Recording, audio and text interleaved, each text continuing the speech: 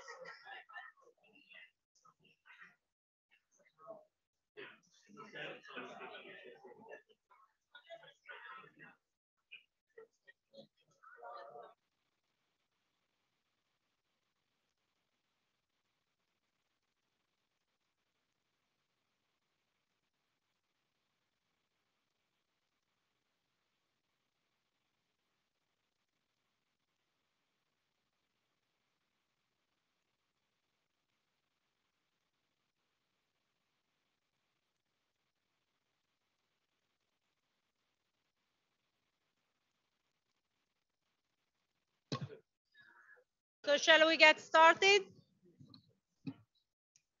Hi, good afternoon. My name is Marta Filizola. I'm the Dean of the Graduate School of Biomedical Sciences at the Icahn School of Medicine at Mount Sinai. I'm very happy to be able to welcome all of you to the 2022 Lab Coat ceremony for PhD students. This marks our fifth annual ceremony with our biomedical sciences and neuroscience students. And this year, we are pleased to be able to present the lab coats to the students in our clinical research program as well. We hold this ceremony to mark the start of our students' journey in academic research and training. The lab coats we present to them are a symbol of the professionalism and authority which trainees develop and foster during their time in our programs. Biomedical and research in clinical research help us solve problems and find solutions based on data and observation. We continue to see this unfold, and our search for solutions expand as we delve into new areas of research, such as our new training area in artificial intelligence and emerging technologies in medicine. We look to our students to help us continue our growth into frontiers and directions in translational research. We are excited to have so many people join us today both in person and virtually to celebrate with our first year doctoral students across our biomedical sciences, neuroscience, and clinical research programs and help us mark the start of their academic research training. It's now my pleasure to introduce Dr. Eric Nestler, Dean of Academic and Scientific Affairs, Director of Friedman Brain Institute, Nash Family Professor of the Fishberg Department of Neuroscience. Dr. Nestler, please come forward.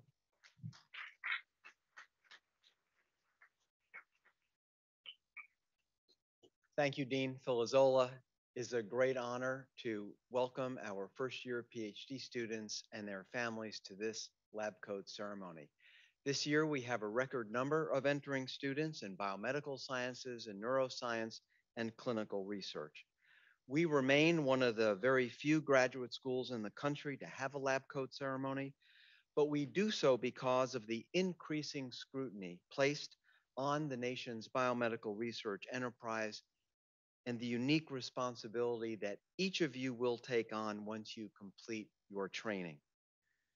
After a very difficult two and a half years wrought by the COVID 19 pandemic and related economic, social, and political turmoil, I am confident that we are now firmly in the post pandemic era.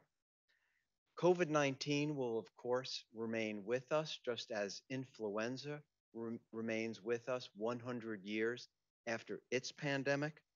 But we can now get back to normal life in person classes, scientific conferences, and social discourse.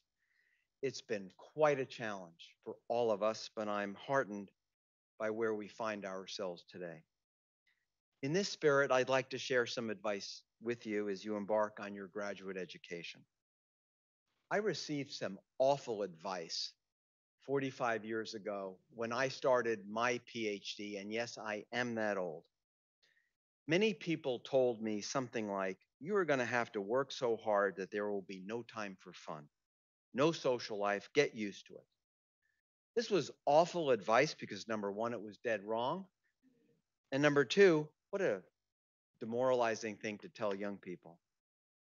Much better advice, which I followed when I was a student and have encouraged all of my students to follow, is work hard and play hard. Getting a PhD is hard work. There's no way around that. If it weren't hard, everybody could do it, and it wouldn't mean that much to accomplish.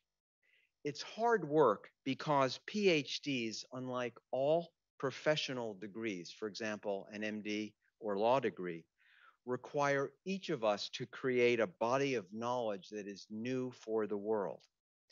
By contrast, all professional degrees simply require learning a trade in a set period of time with no original discoveries required.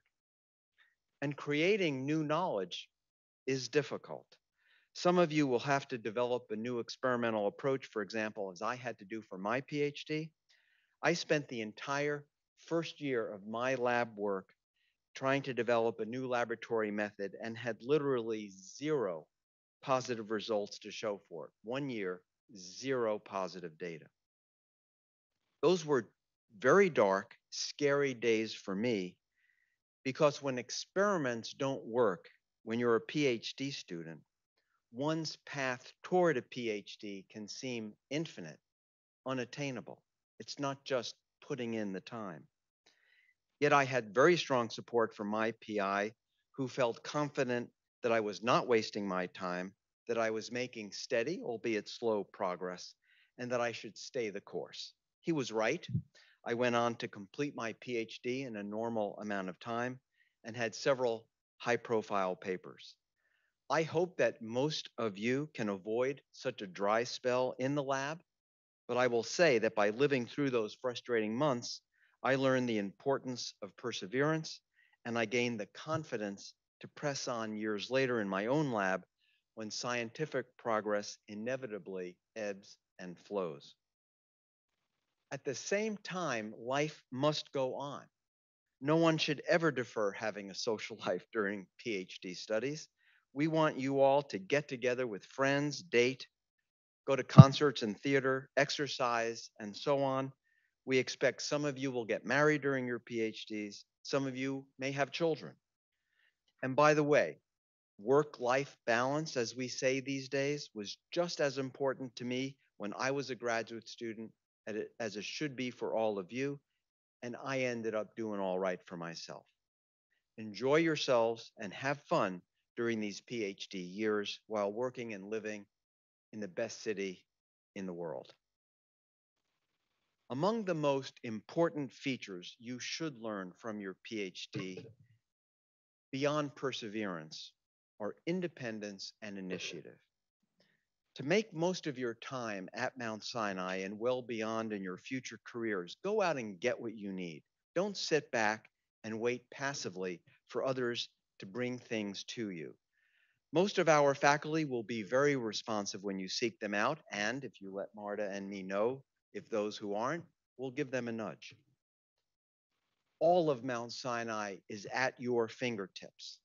This is one of the very best, most innovative, most entrepreneurial medical centers in the nation, which offers tremendous resources as you get your burgeoning careers underway and decide which of many available professional paths, whether academic, industry, government, journalism, among others, you take in the future. Choose your lab carefully. Get yourselves into labs that enable you to reach your potential and make your labs, your lives productive and happy. Choose a PI who will provide the scientific guidance and emotional support that I received from my PI years ago.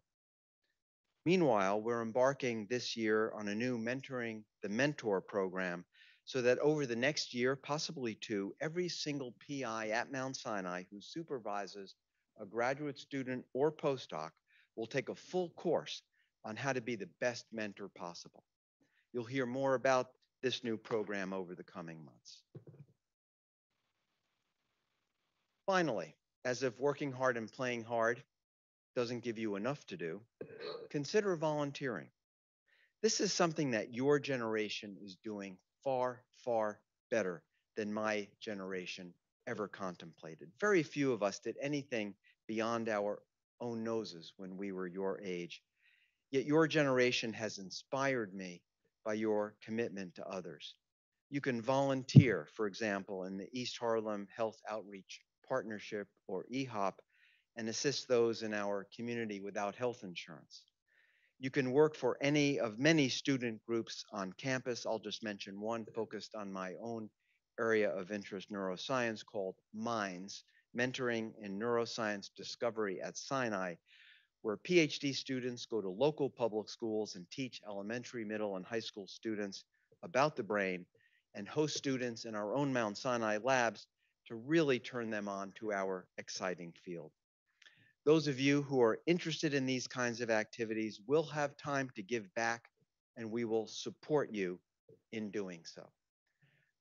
I've had a lab for 35 years now, and I have always considered myself among the luckiest guys alive because every day I go to work to mentor young people like yourselves and pursue science, my life's passion. I hope that each and every one of you use your PhDs for an equally rewarding and exciting career. Thank you.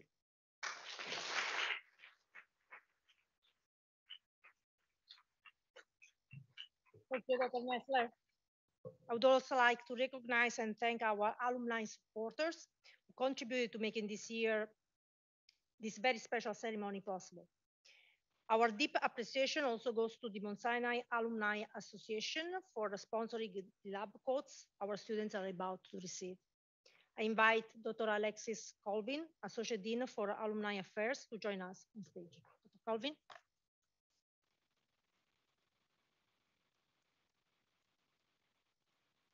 Congratulations on not just starting graduate school, but joining a family of incredible alumni.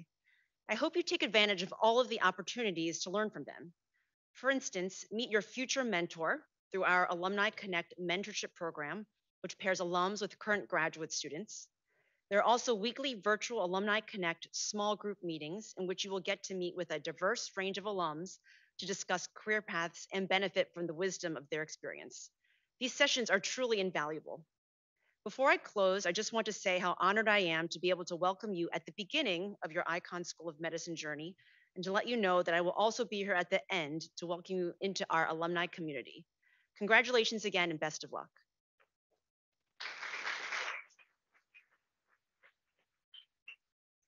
Big thank you of our, our to our alumni community as well as to Dr. Colvin I would now like to invite Dr. Nestler back to the podium to introduce our keynote speaker. Dr. Nestler, please come forward.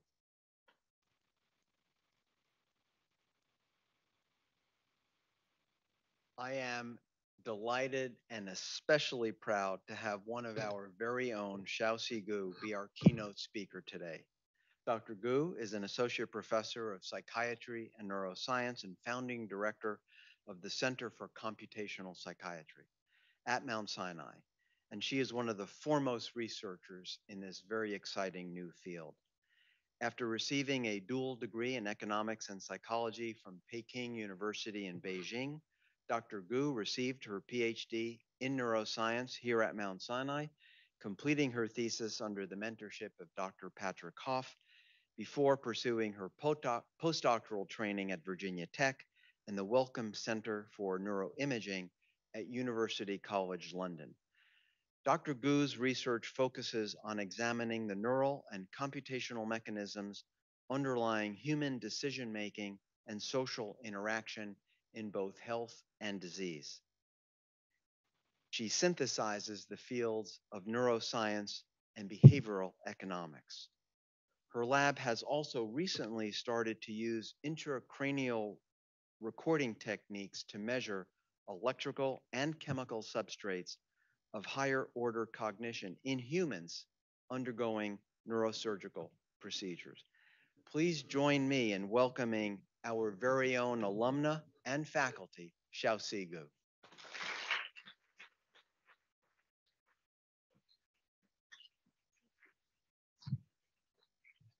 Wow, what an honor. Thank you so much, uh, Eric, and also um, everyone on the grad school leadership for inviting me. It's really an honor to be here today.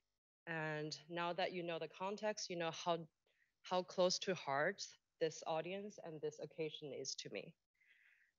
Exactly 15 years ago, I arrived in New York City, actually to Aron Hall specifically. with just two suitcases. I still remember that day really clearly. It was a Sunday, uh, Sunday night actually. It was rainy and dark, right? So having no clue what I have got myself into, moving across the uh, Pacific Ocean, I was so tired. I was completely drenched, and I was very hungry. So, but I was only to find out that the only restaurant that was still open was a, a Chinese takeout place. Can you guess what the name of that restaurant is? it's the famous or the infamous, should I say, Yao Ming Garden. that is still surprisingly in business. So, adding to my misery, I had to shovel down this greasy fake Chinese food down my throat uh, it did the purpose, right? so if you had caught me at that exact moment and asked me, how do you think your life is going to turn out? Right? Not in my wildest dream would I tell you that, oh, I think I'm going to be professor here at Sinai. Or I would be standing here, you know, delivering this speech, very special speech to all of you here 15 years later. No way, right? Not a single chance. So, so the point of sharing this story with you here today is you really never know where life takes you. Um, today, we're really gathered here to celebrate you, celebrate the beginning of a brand new journey with all of you. This journey might be difficult, right? This journey could potentially be rewarding.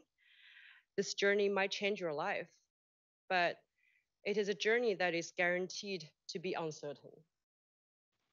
So you might ask, what is the secret ingredient for us to survive this journey, right?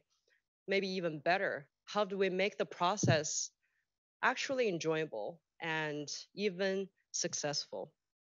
There are many answers to this question. You know, some were mentioned in Eric's speech earlier, you know, resilience, perseverance, dedication, maybe enthusiasm. But there's one ingredient I really want to talk about today, and it's something that I think uh, is almost forgotten in recent years in uh, science, and something that I still have to constantly remind myself of, and that's cur- curiosity. Um, I think curiosity is the fundamental reason you're all sitting here today instead of, you know, working a very nice job in Wall Street or Silicon Valley, um, just like all of your college friends are probably doing at this moment, right? Actually, some of you might uh, have already worked and decided to come back to grad school. And you, you got to ask yourself why, right? I think that here I want to share another personal story with you. Um, so actually, I have, as if you know me personally, you probably know, I have always been a very curious person. So even after my PhD, where I did relatively well and could just go on with this academic trajectory, uh, without much uncertainty or surprise, I decided I'm gonna try out some non-academic options. Okay, so I applied for a bunch of things, and I actually ended up being accepted into a very prestigious program uh, with a major business consulting company. So it was not a you know long-term contract, but that's a way for these companies to sort of uh, attract you know future hires and potential talent. So I was putting through this boot camp. They flew us to the Alps, and we stayed at a very nice castle for a couple of days. and to go through these actually interesting simulations of what real consulting projects look like, right? And not long after I landed in that amazing castle, I decided that this is not for me. Okay. I really cannot pretend that I'm interested in a fake sort of business scenario, right? A project that is really designed to serve a very specific purpose of a business, right? So despite the fact that, you know, uh, of course, uh, job scenario and salary and a lot of other things seemed attractive. I was really, really bored out of my mind for that week. And uh, similarly with my other explorations outside of academia, I've decided that nothing really trades for that intellectual freedom, and nothing else can really satisfy my intellectual curiosity other than being a scientist. So, what should we be curious about, right? Is it everything in life? Today, I think I'll just list three main types of curiosity uh, as a starting point. And that is first, be curious about science, your scientific topic. Be curious about people. And finally, be curious about life itself. Be curious about science. Just like choosing a life partner, there are many reasons why you want to choose a lab today, right? And actually, thanks to all the conversations we're having in academia, many people realize that lab culture is very important. I think the PI's mentoring style is very important. But let's not forget that the scientific topic itself is really important as well. You must be curious about the research project. Because think about this science is hard and it's slow sometimes. And this is something that you will spend at least the next five or six years to work on, or potentially for the rest of your career, right? And it's actually not really cheesy to do what you love uh, for for a living, right? And in fact, I think that's the only way to do it. You really must love what you do because that carries you through the difficult times in your PhD. Second, be curious about people. A huge reason why I feel pumped every day to go to work is because of the people uh, that I work with, to be honest. Face to face meetings, grabbing lunch together, or even just bumping into people, right? Having a small talk in the hallway. These are what I call the daily doses of happiness that really carry, carry you through the day. Because again, science can be slow and can be frustrating, and many other aspects uh, are really all about delayed gratification. This is also exactly why the past two years have been extremely difficult because we were, you know, deprived of that. Now that things are mostly back to normal, it it's really time to re-emphasize this fun part and bring that back into our PhD lives. And thankfully, we have a really great and vibrant community here. There are so many social events beyond the scientific ones. I really do encourage you to, you know, get yourself out there and try to participate in these events as much as possible. Really embrace your lab mates, your roommates, and your colleagues right? Don't be shy about asking people out for coffee, for lunch. Seek advice. And very importantly, find what I call your people, right? Um, they can be anyone. Again, science, scientists or non-scientists. I can't tell you how many times it is these late night discussions with people and three hour long phone calls that carried me through some of the most difficult times of my own scientific journey. And I think that's also true for a lot of the you know, people I've heard about. Finally, let's be curious about life itself. And this, I think, is really the holy grail of curiosity. I think what we do, biomedical sciences, are fundamentally about humans, right? We want to address human centered issues. In fact, I think the best science is really driven by and must be grounded in human reality. It also follows that we as scientists actually have an obligation to stay curious about the world itself and pursue work that can really meet human needs. Living in New York City is really great for that because all aspects of humanity are right in your face. So let me give you another example. My office now is located in central Harlem on 125th Street. So every day, walking in these Harlem streets has become a routine exercise of field research for myself. Because trust me, the way you think really changes when you witness how homelessness is so strongly related to mental illness and drug use. And when, when you see how poverty uh, strongly leads to desperation and aggression, and how lack of schooling and parenting might leave kids in the streets, right? These are, I'm not making these up, right? Because these are the things I see every day, uh, just on my walk from the sixth train station to the office. This has really made me rethink some of the research questions that we're pursuing. And I think having these curiosity as well as empathy driven um, observations and thinking really allow you to see your own work, its impact from a much higher level beyond just the publications and grants. It makes you a better scientist.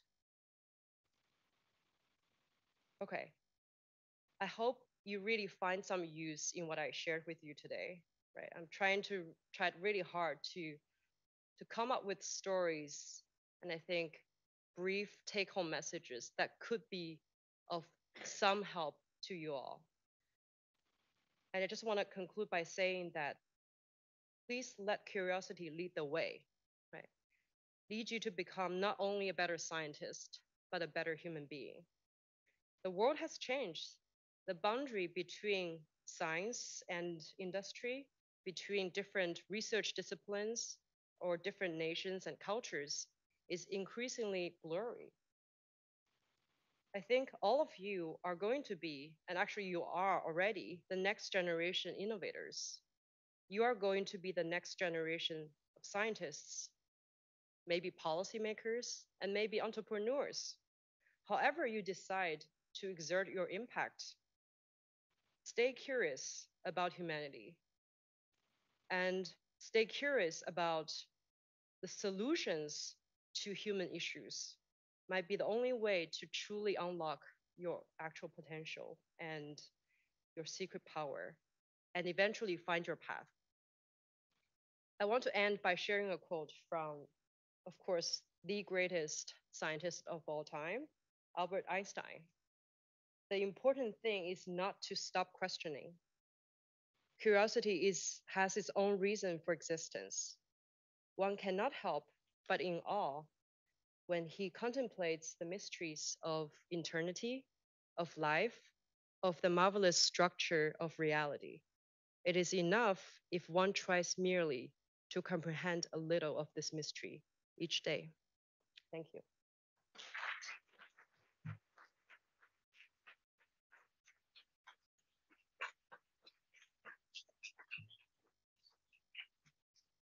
Dr. Gu, this was very, very nice. Thank you very much. And I hope your words today serve as an inspiration uh, to our students and help guide them uh, as they embark on their uh, academic research journey. The next part of the ceremony now. Is the part many of you have been uh, awaiting will be the presentation of 2022 matriculating PhD and MD PhD students with lab coats as a symbolic induction into their rigorous uh, academic uh, scientific training. Students will receive their lab coats from distinguished members of the graduate school faculty who exemplify outstanding graduate teaching and mentoring. It is my pleasure to introduce some of our distinguished directors of our multidisciplinary training areas who will be alternating in quoting the 2022 matriculating PhD and MD PhD classes in biomedical sciences and neuroscience. Please stand as I call your name. Dr. Betsy Cropper, faculty from our neuroscience program. Dr. Alan Seifert, co-director of the Artificial Intelligence and Emerging Technologies in Medicine. Dr. Doris Germain, co-director of the Cancer Biology MTA. Dr. Robert Krauss and Florence Marlow, co-directors of the Development, Regeneration, and Stem Cells MTAs. Drs.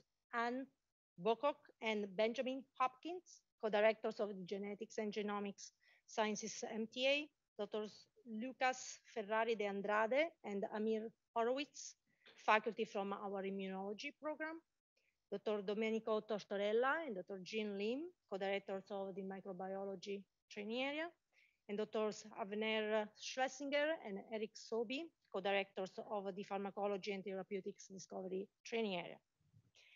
It's also my pleasure to introduce this year's roster reader for our doctoral students, Dr. Matthew O'Connell, Senior Associate Dean for PhD programs in the Graduate School of Biomedical Sciences and Professor of Oncological Sciences.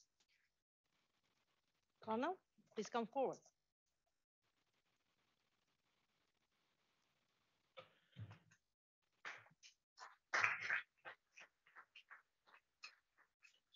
Wow.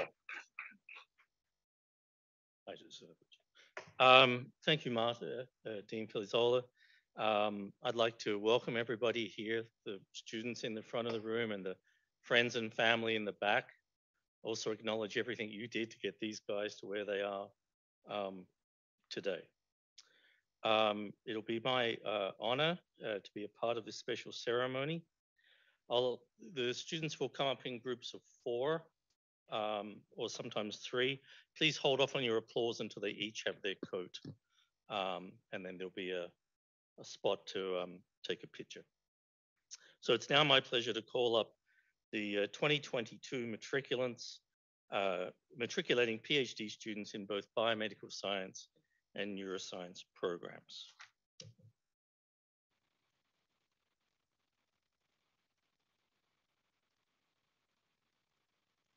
Okay, so away we go. Our first group, Alejandro Abraham, Jesus Ayala, Bo and Eva Bednarski.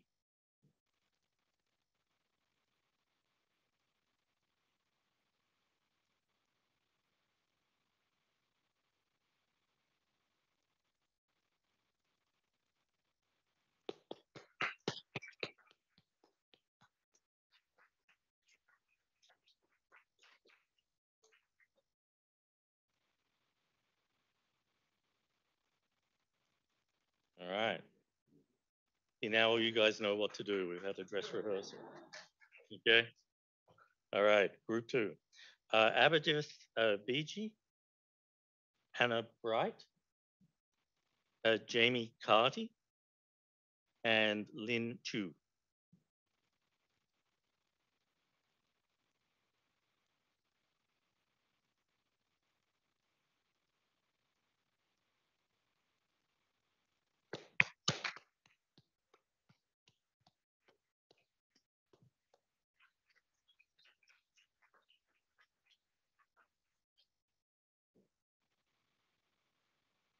All right.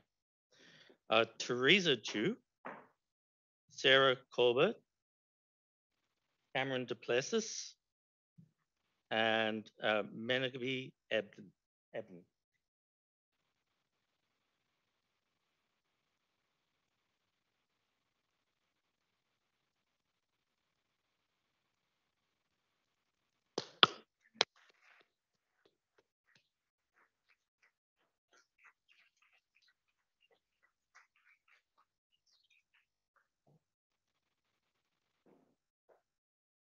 Okay.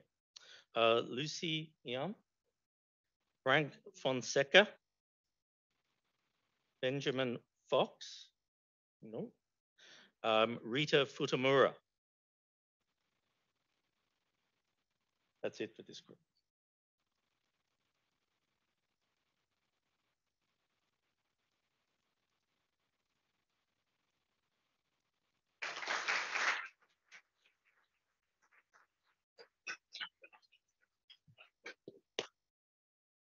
Okay. Uh, Raman Gill, Josh Gray, Juan Hene, and Mackenzie Herb.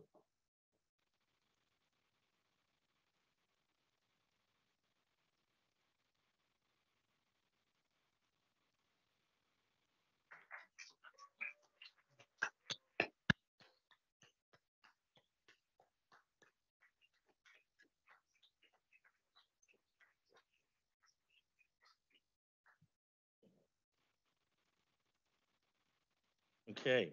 Uh, Kamal Kane? No. Uh, Saswati Kar? Okay. And uh, Aislinn Keen. Just two for this one. We have to clap extra loud.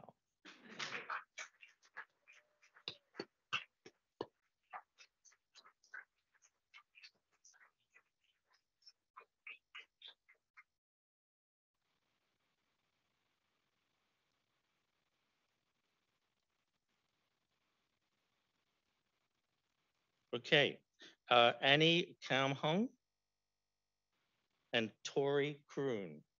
Again, just two, so extra effort.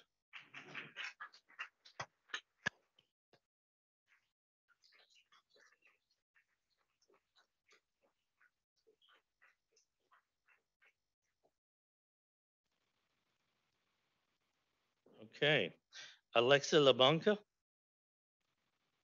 Wan Yi Lam, and there's no one else standing there. Okay.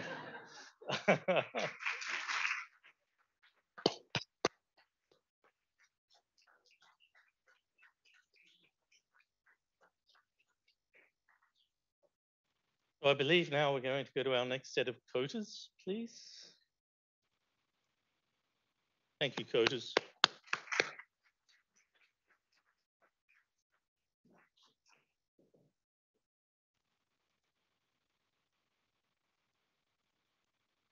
Okay.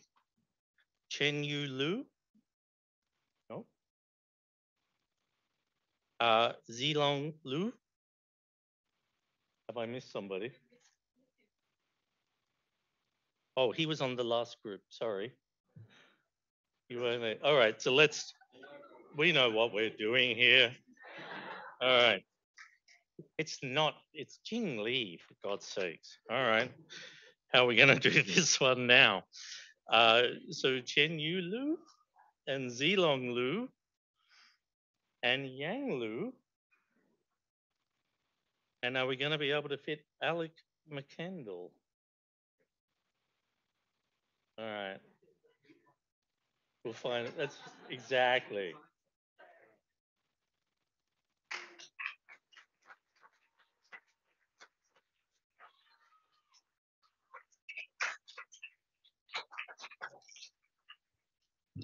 Wow, and there's the award for the best cheer in the back there.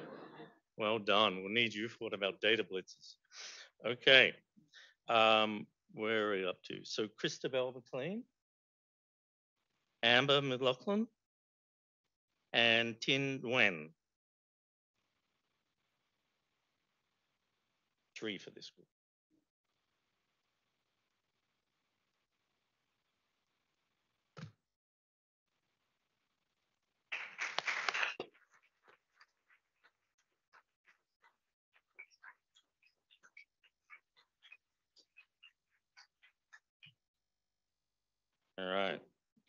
Grace Pepler and Matthew Prelberg. Just two for this one.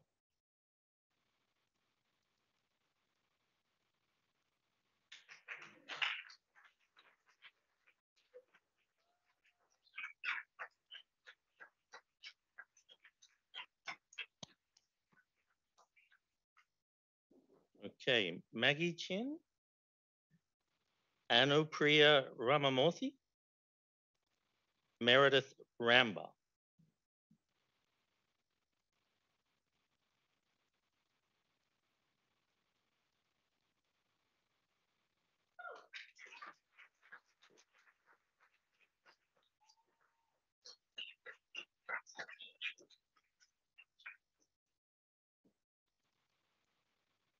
And we'll just wait for them to come down. Paula, right? No? Okay, good. Uh, Laura Rosenberg. There we are. Rachel Sadonovic, Sadovnik. Uh, Zishan? No?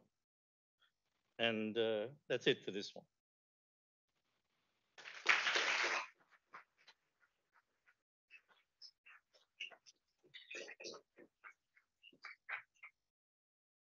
Lyra Chu, Adriana Sisti, and Hartnell Song.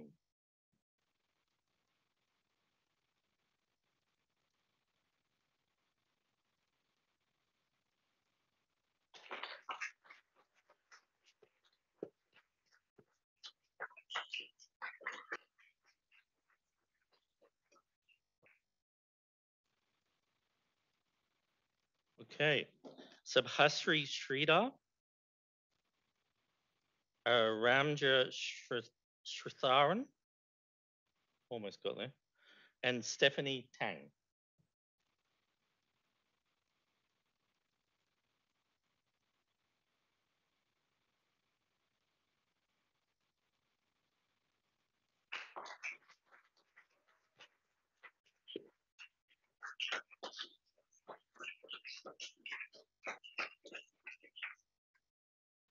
All right, two more groups to go.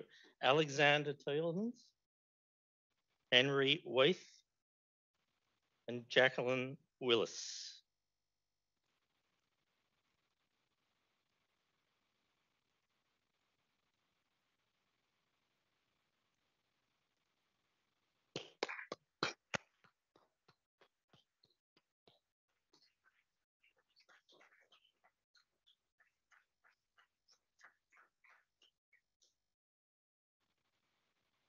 Okay, um, I think we need to change quotas. So thank you very much, quotas.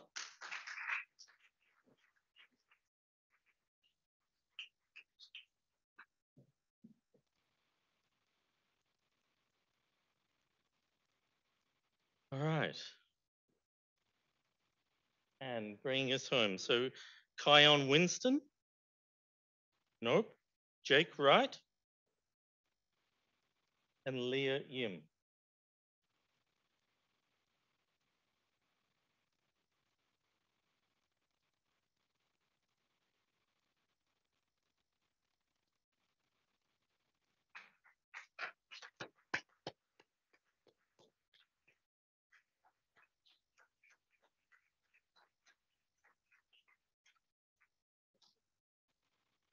All right, so please, coaches, please stay.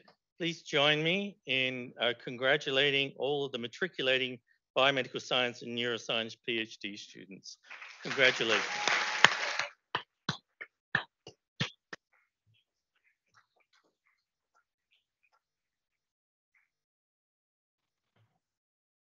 It's now time to call on stage the medical scientist uh, training program students who will also be starting their research. Dr. Talia Swartz, Associate Dean for um, MD PhD Education, read the names of the MD PhD candidates. Dr. Swartz, please come forward.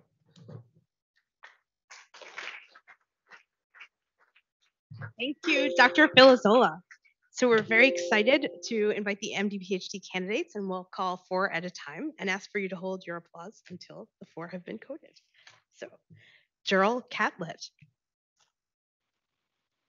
Winnie Chen, Khadijah Crawford, Jeremy Fisher,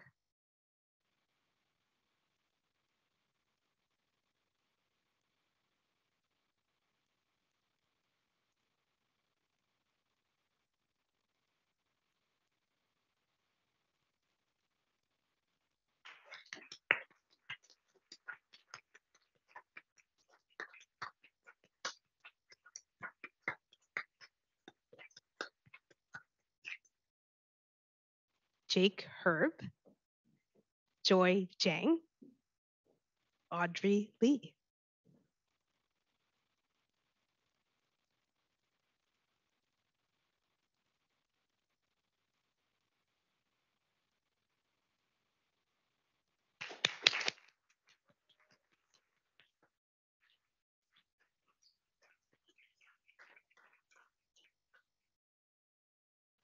Jesse Mangold, Sarah Weitzman.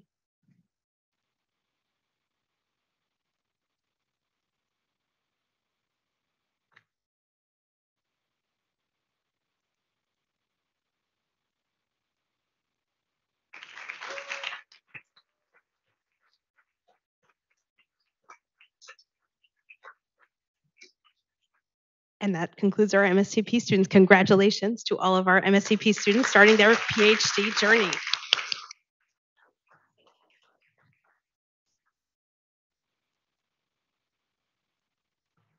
Year we are also excited to have joining us our uh, doctoral students in clinical research program, Dr. Janice Gabrilove, director of the clinical research education program, will read the names of the students. Dr. Gabrilov. Thank you so much. Thank you so much, Dean Martizzola. Um, it's really a pleasure to be with all of you uh, today. I'll be introducing four of our eight first year PhD and clinical research students who are able to be with us today. Mitali Mehta, Jasmine Modassi, Elizabeth Stidham, and Weijia Wang.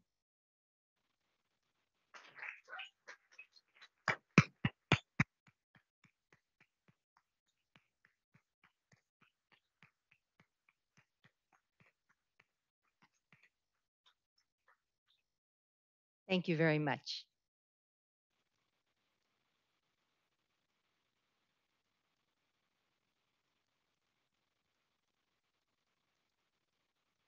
Thank you to the coders. Thank you. And now I have the pleasure to present Dr. Basil Hanss, Senior Associate Dean for Postdoctoral and Student Affairs and Associate Dean of Wellness to administer the PhD oath followed by the faculty pledge. Dr. Hanss, please come forward.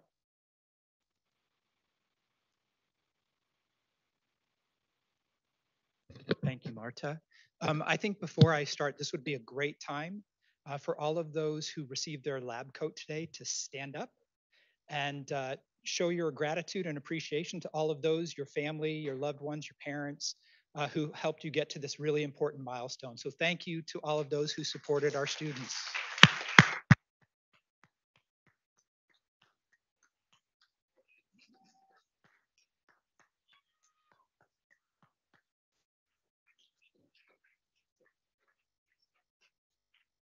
Great, thank you very much.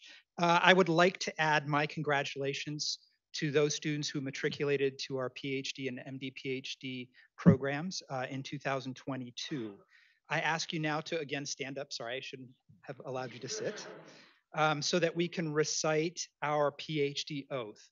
Before I start reading the oath, uh, if I could also get all of the PhD candidates and PhD in PhDs in the audience and any of those seated on stage with me uh, to also rise so we can all dedicate and rededicate our commitment to our profession. The oath is on page eight of the program and it's also uh, on the screen here. Okay, with my Doctor of Philosophy, I will willingly pledge to uphold the highest level of integrity, professionalism, scholarship, and honor. I will conduct my research and professional endeavors with honesty and objectivity. I will apply the highest standards of rigor and respect for the generation and application of knowledge and fully acknowledge the contributions of others. I will not allow financial gain or ambition to cloud my judgment or decision making, nor cause harm to society or subjects of research. I will embark on the furthering of knowledge through respectful interaction and collaboration with my colleagues and community without prejudice or exclusion. I will be a role model and use my skills to inspire, mentor, and empower future generations, instilling in them the highest principles of ethical behavior. As witnessed by all present today, and in the tradition of graduates before me, I do affirm to uphold these guiding principles. Thank you. You may be seated.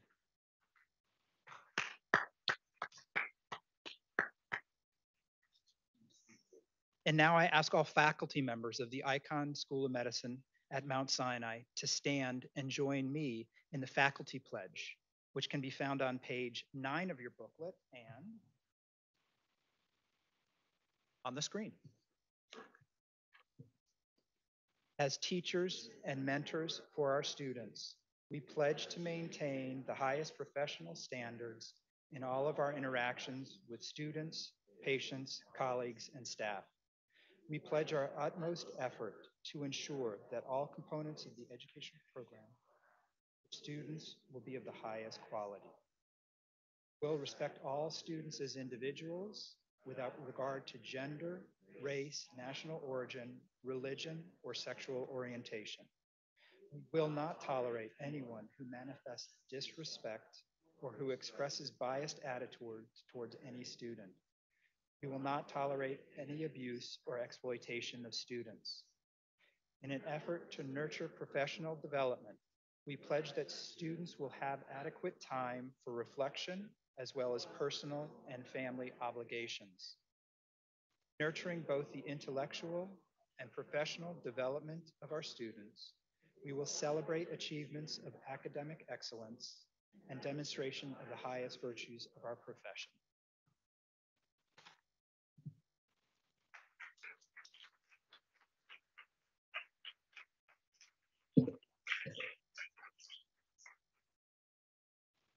I would like to thank now the Graduate School of Biomedical Sciences staff for their assistance today, and again, the Mount Sinai Alumni Association for their uh, ongoing support.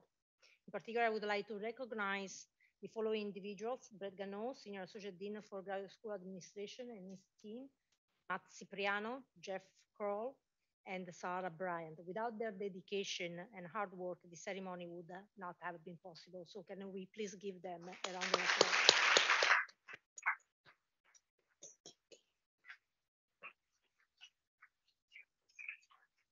All present are invited to attend the reception in the Aron Hall courtyard across the street. Please remain seated until those on stage have exited the auditorium. I'll ask the 2022 matriculating PhD and MD PhD classes to remain seated for group photos after the auditorium is emptied. The lab coat ceremony of the Graduate School of Biomedical Sciences at Mount Sinai is now concluded. Thank you and congratulations.